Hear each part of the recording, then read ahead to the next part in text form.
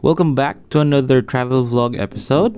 In this episode, we're going to visit a camping site to one of the cleanest inland body of water in Antique, the Bugang River. From Iloilo, medyo may kalayuan po ito. It took us around 5 hours of driving. Yung masaya pa ay hindi namin alam na may papasok pala na bagyo. Watch until the end kung paano namin na-survive ang bagyo at kung ano yung ginawa namin But before I proceed, make sure that you subscribe to the channel and then follow my social media accounts, hit the like and then share so you can help me and my channel grow.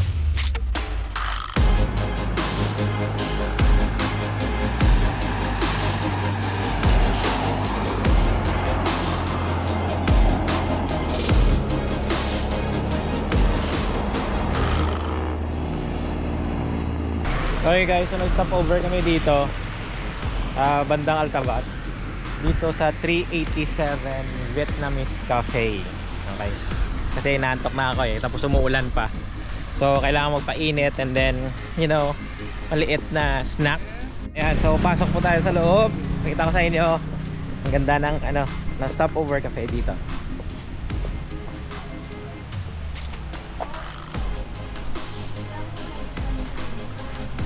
Boracay sa ano ba ganito? Pandan Ah.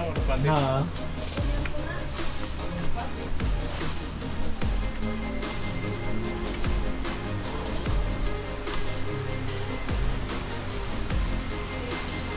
Bye bye sa baba.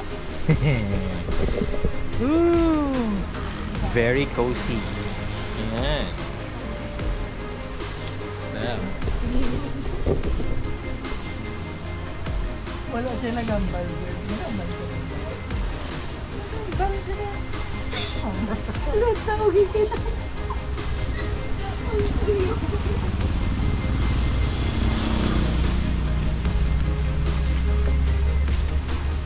traditional Vietnamese coffee. Yeah, be, be. Hindi ko pa ano, hindi ko pa naman. Hindi, sado ka pa. Ah, okay. Iula mo ng gata sa yan. Okay. Tapos, why? I-mix mo lang yung ano sa ilalim. Mm, ah, magaling na. Balihan mo niya ang ginsaraan. Ah. Amo ni ang kape. Pwede mo man natin mo timo na yung gusto mo, ah, grabe. Ay, no? okay, so ito po, traditional Vietnamese coffee and then yung akin. Anong ganun ako na? Coffee float. Vietnamese coffee float. Ano na siya ganun ang ban? Bali. Ban. Okay, ban mi. Uh, Vietnamese sandwich. Vietnamese sandwich. Ayan. Oh my god. Wow. Chocolate. Oh my god.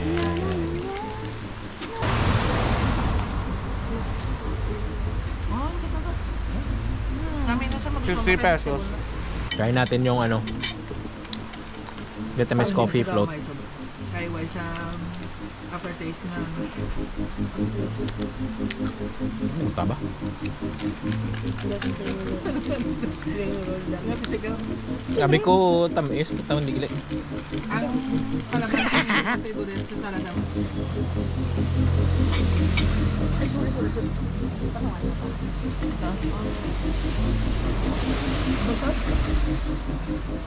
On ko balahaw. Alam why siya yung after effects. Nga, ah, nga.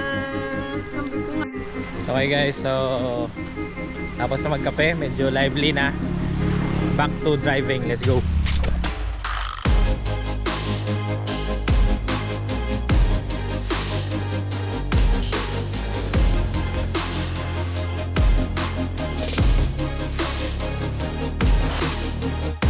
Hey guys, what's up? So, ayan, ah, nag-stop over muna kami dito sa may tanghalan kasi Uh, it's around 11.45 na. Ayan. 11.42 pala. Ayan. So, lunch muna and then from here siguro mga 1 hour and 30 minutes uh, we're gonna arrive at Ikings dun sa camping spot namin. So, ayan. Uh, nakalimutan ko yung lugar dito. Nakita ko na lang sa my screen saan lugar to. Pero maganda yung lugar kasi malapit siya sa coastal area ng Tanghalan. And then, I don't know if you guys can see. Ayan yung itsura niya. Ayan. Okay? So mag-order muna kami tapos papakinggan namin sa inyo yung mga cottage kung saan kayo kakain. Let's go!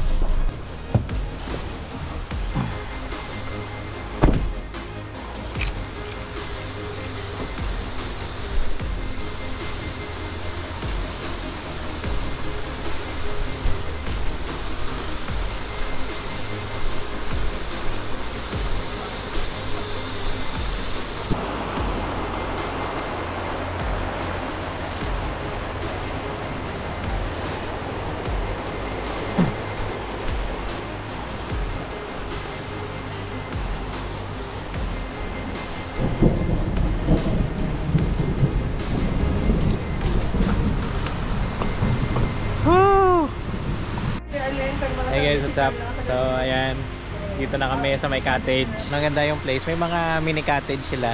Ayan. Na pwede ka mag-overnight. So, if ever na alanganin yung oras sa pag road trip nyo, pwede kayong mag-drop by dito. ah, kumain and then overnight if pagod na. So, ayan. So, ayan. Kakain muna kami dito. And then after that, after one hour, ah balik road trip na naman. Okay guys? So, ayan. Let's go!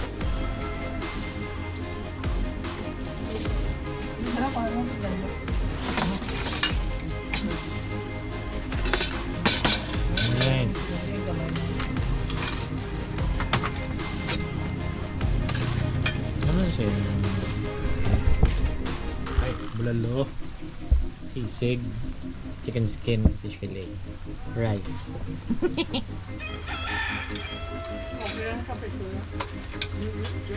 Sa.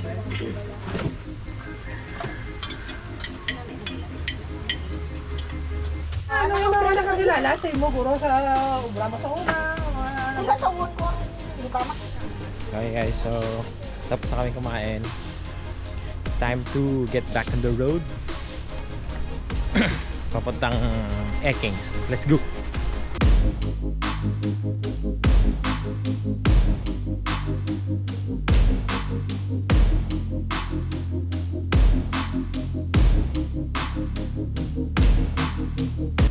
Na. Okay lang, oh. Dito lang kami dambi sa may shibod naman. Ah, sige. Okay. Mangita lang kami, da? Ah! Adi po, God rep ato Okay, dito naman na ang resort. Let's go. Wala naman. ulan? Ah, Jay. Paano pa ba? Dito, Oh. manok yung iikin ko. Dura mo na dito. Ito hiking. Awan to ba kayo? Amon siyang tricky na ang daw mga ano, ang daw mga sulit-sulit nila. Basta ang good for two nga aircon, 1K. Oh, 1K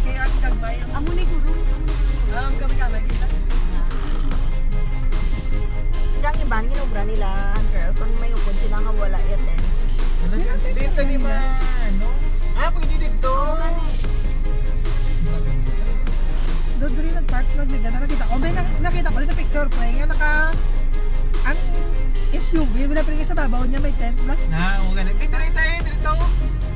Uy, dito. Galubog. Diya sa kay kay Carabao grass bag. Oo, may, may attraction. Wala din. Naog na lang ka mo, guro. Hmm. Yan, ano na ba? Huwag ka kagata. Hi guys, so ayan. Um, actually, dito na kami sa ano sa camping grounds.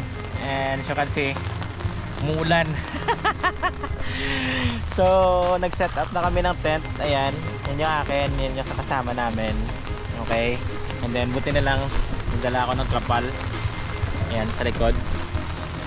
So ayan yung setup namin. Di ko na kunan ng footage kasi di naman malakas yung ulan pero di ko lang gusto na mabasa yung mga camera gears ko. So ayan, tinapos namin muna para stable yung yung tarp. Ayan, and then yung dalawang tent bago ako mag-take ng footage. So sa area na to, pwede kang magpasok ng ano ng sasakyan if you can see andito yung sasakyan sa gilid namin. And maganda naman kasi hindi naman gaano kalakas yung hangin constant lang yung ulan ambon na ambon mga ganun so hopefully yung trapal namin makahold and then at the same time yung tent namin so ayan so yan sa gilid yan yung parang cafeteria nila so diyan kami magluluto kasi umuulan so if ever na matanggal yung mga clips ng trapal um, hindi kami mababasa na nagluluto dito. So ayan. So hopefully bukas maging okay na yung weather, mag-stop na yung ulan para at least mapakita ko sa inyo yung buong camping grounds. Actually ang ganda ng camping grounds. Parang may may opening sa gitna ng mga puno. Ayan, napapiligiran kami ng puno. You can see. Ayan. And then dun sa may ano, dun banda, meron dong ano, ah, cleanest water ng Antique which is the Pugang River. Yan, diyan lang sa baba. Originally, dun sana kami mag ah, ano, mag-pitch ng tent. Problema lang yung pumasok yung sasakyan kanina.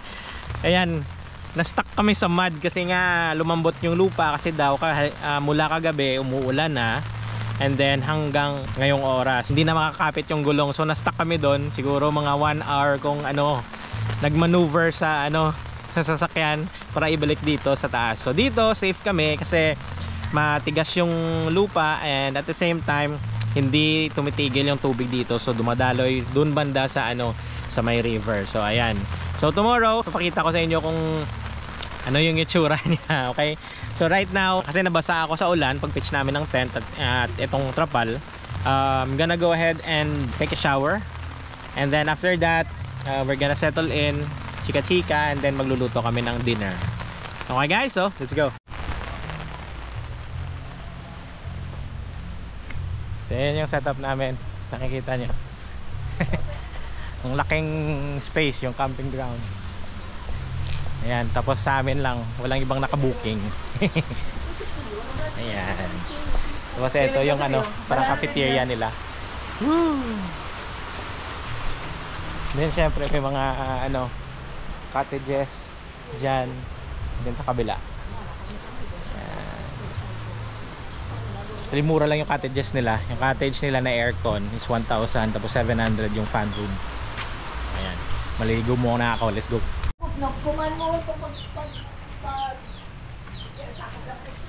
Okay guys, so ito yung CR nila. Ayan. Native, combination ng native at modern. So, sa likod ko may dalawang sink. Ayan. Sabi daw nila may bay. Ito, ito daw yung ano, yung CR. Ayan. Okay na din. Ito yung sa lalaki. And then, ito yung shower room.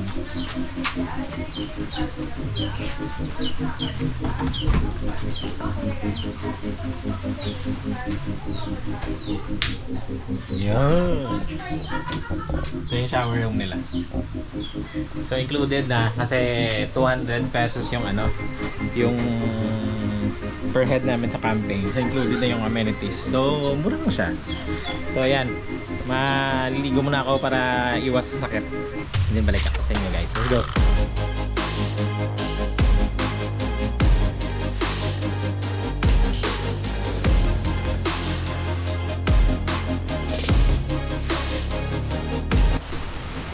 Okay guys, so ayan. Tapos na lang maligo. so, it's around ah, 6 Ayan na yung itsura ng ang site namin. Ayan. Siyempre, naghahanda na kami para mag, ano, ah, luto. So, ngayon, since kami lang yung tao dito, sa amin yung, yung buong, ano, kitchen or cafeteria nila. Ayan. And then, siyempre may dala kaming isang orokan ng puro foods para hindi kami maboard. Kung maboard, kain. Then, diyan kami maluluto. Ayan. Na, nagdala ako ng ano, portable stove. And then, syempre may butane kami. Sana ba yung butane? Ayan, yan. Butane. Ayan. And then, syempre may ano, if kailangan namin mag-grill ng meat, nagdala akong ano, briskets.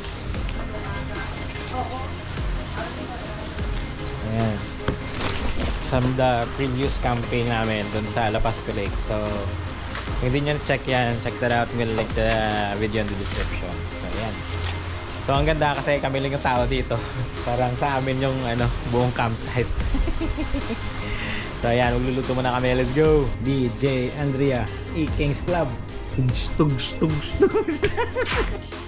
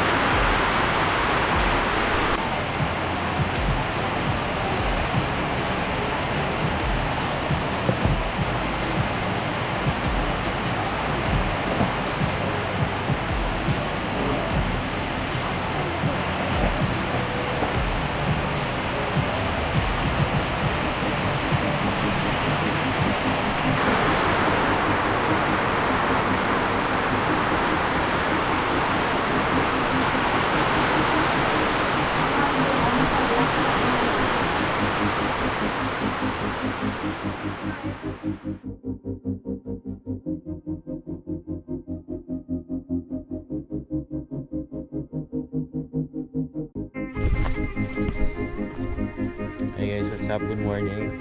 Ayan. It's around 9 na. Kakagising ko lang. Kasi sarap patulog kagabi.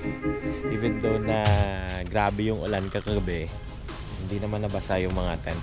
So, ayan. Ayan yung setup namin. And then, today, medyo gloomy siya. Pero nag-stop na yung ulan. Kasi, hindi namin alam na may bagyo pala. na papasok. So, pumunta lang kami dito without checking in the weather. So, ganyan yung itsura. Pero at least prepared yung mga gamit for the rain. Kaya hindi kami gaano nabasa. Pero, yung problema lang, hindi kami nakatambay dun sa baba ng tarp. Kasi nga malakas yung hangin and then hindi na makaya ng tarp na ano, prevent yung tubig. So ayan, so doon kami nag ano, nagtambay kagabi sa loob. Okay naman kasi yung camping grounds is the uh, have a you know, yung mga facilities. Maganda naman yung CR, maganda naman yung tambayan. So okay kami kagabi. Actually hanggang uh, one, ah, hanggang 2 a.m. kami nagstay up and then nagkwentuhan. So ito yung camping grounds. Nandito kami sa middle camping grounds. Kami lang yung tao. Tapos uh, yung problema lang kasi uh, kapag umuulan dito or kapag may bagyo, hindi ka makakaligo sa ano sa river kasi nag-overflow yung river. Ayan. Papakita ko sa inyo. So ito part pa to ng camping grounds. Actually kagabi yung tubig dito doon nang galing sa amin. Galing mula sa taas, dumaloy dito. So, uh, fortunate naman kami kasi yung pag-setup namin ng tent nasa higher ground. So, dumaan lang yung tubig at dito nag ano nag-stay. So, ayan. So, papakita ko sa inyo kung saan yung ano saan yung uh, river banda.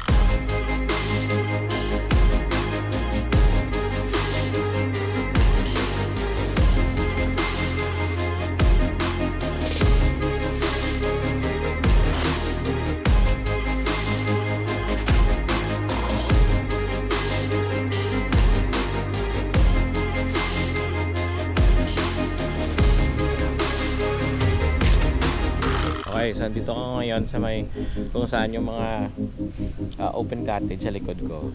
And then yung campsite namin nandun.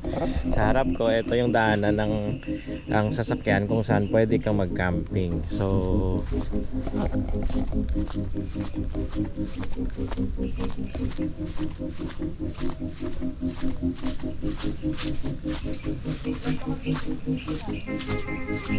Ayan, so nag-overflow. So ito yung parang open cottage nila. So if you're going on a day tour, tayo kayo tumatambay. And then yan yung river. And then kahapon dito ako dumaan, kita nyo yung mga tire tracks pa. Actually, uh, na-stuck ako dito kahapon. So hindi ko na nakuha ng video. Pero siguro mga 1 hour na na-stuck ko dito.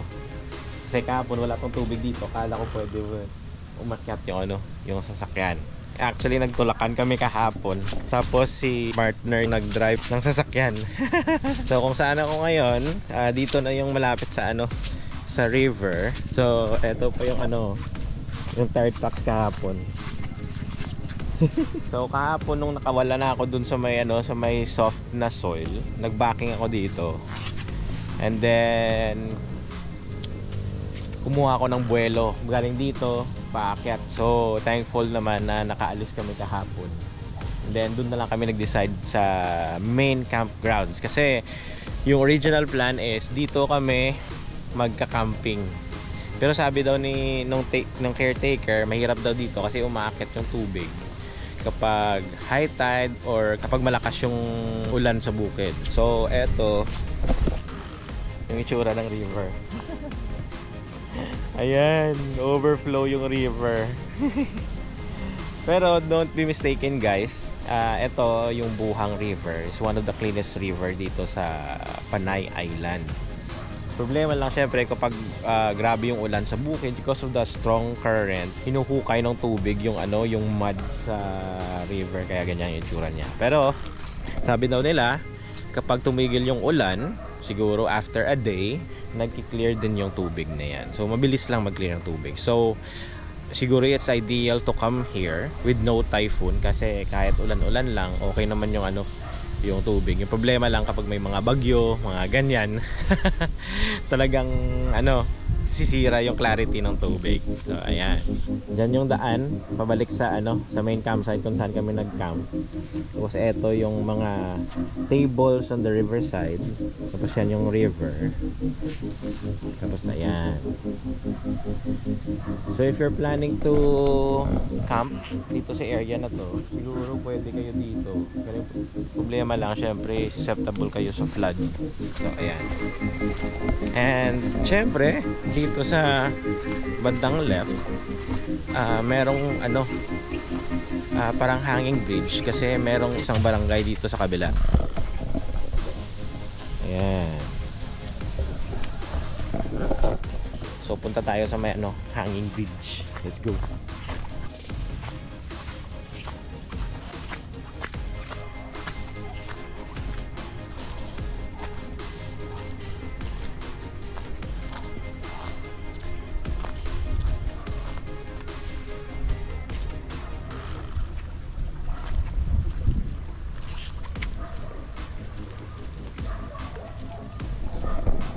Okay, so sa likod ko, yan na po yung hanging bridge. And then dito parang may platform. Siguro ito yung ano, yung lumang bridge nila na syempre nagiba na. So, ayan. Check natin kung pwede tayong umakyat dyan. Kasi eh, kahapon, nakita ko mga ah, motor na dumadaan. Okay, so closed yung area ng hanging bridge. May resort din ata sa kabila. Pero kapag grabe yung tubig, umaakyat yung ano, yung tubig talaga sa mga cottage nila. Yan, pakita ko sa inyo. Medyo gloomy, pero don't know if you guys can see it. Kahapon, may nagbi-video okay dyan. Pero okay lang naman kasi hanggang 8 lang yung video okay. So, maganda yung tulog namin kagabi. Walang ingay, nature lang, ulan. Tapos kami lang yung maingay. Yan. So, I don't know if ah pwedeng mag-camping dyan sa kabila. Pero tatanungin natin kung paano ah, dumaan dyan. Kasi pwede ipasok ata yung motor. So, okay din yan. Check out natin the future videos. So, ayan. So, mag-breakfast muna kami kasi overnight stay lang kami dito. Um, siguro after lunch, balik na kami sa Iloilo. Okay guys, so let's go.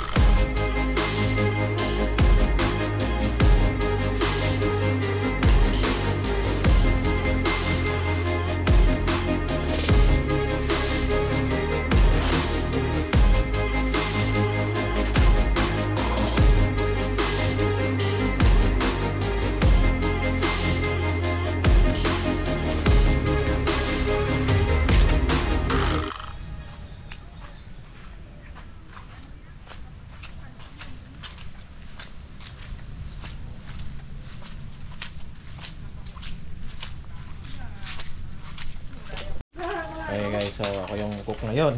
Sa 32, 31.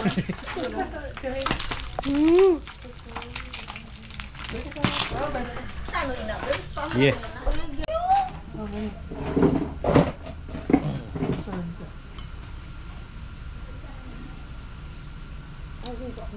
Sasagi ng kapunan. Huwag ko ka ang kasino mo. Thank you ginang. Mato na? Sige. Kaunta ka.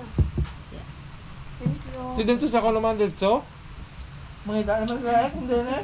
Hindi po galibog di talas na lang. nila kay Lilo, kung sila lang na alas 4, kung sila Bye-bye na lang sila eh. Kay Oo. kung amo ni asahan nila yung mga river-river nga niya. Dalaga Busay. niyo. Wala. Kato sila to sa may mag-abaho. Di na magaba. Hindi rin lang pagliko ang daan. Lupit lang. Oo. Ano na tayo nga lang? Magdagat. Ah, dagat. Oo, oo, pwede.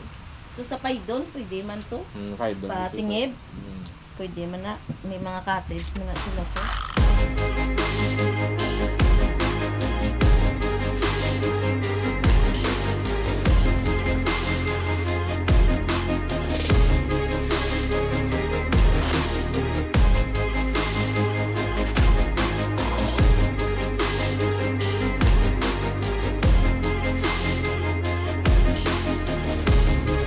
Okay guys, so ayan.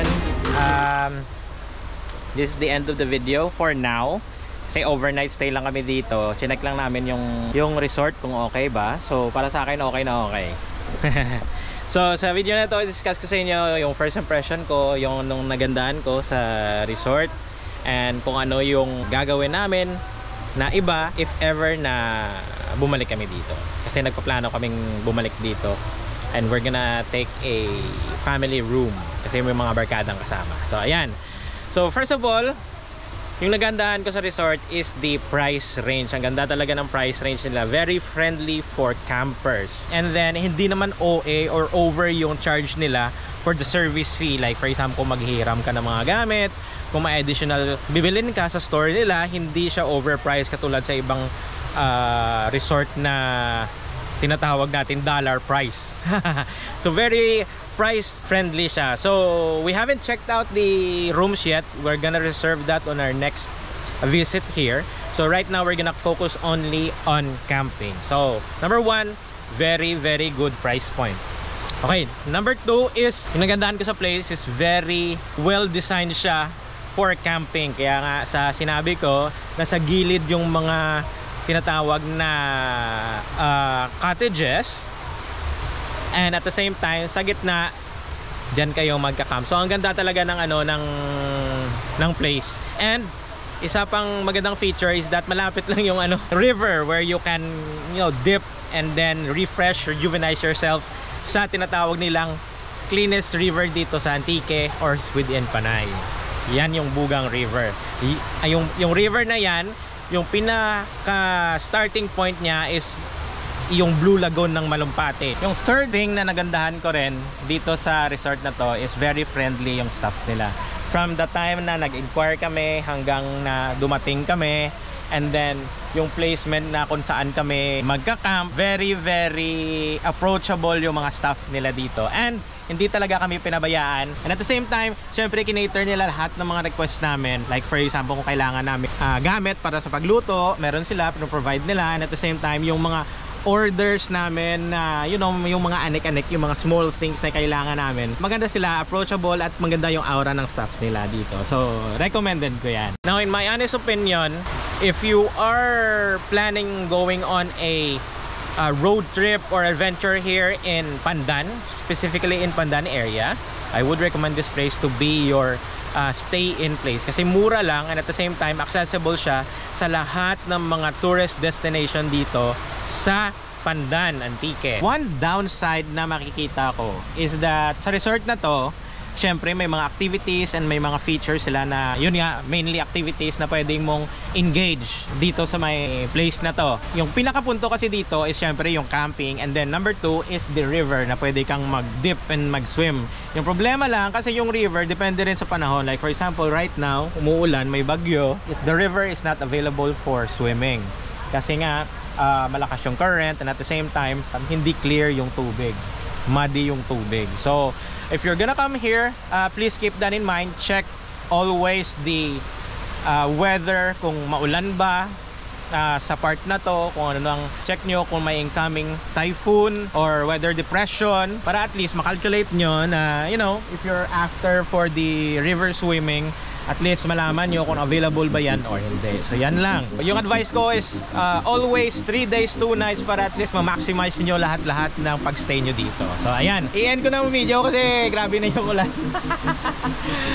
Baka kasi magabihan kami sa road going home. So, ito-close ko na yung video. Okay, so naubusan ng battery yung GoPro ko. So, syempre to end the video, make sure that you subscribe to the channel and then follow my social media accounts. Hit the bell button so that you'll get notified every time I upload a new video. Ride safe, travel more, and I will see you guys on the next episode. Bye.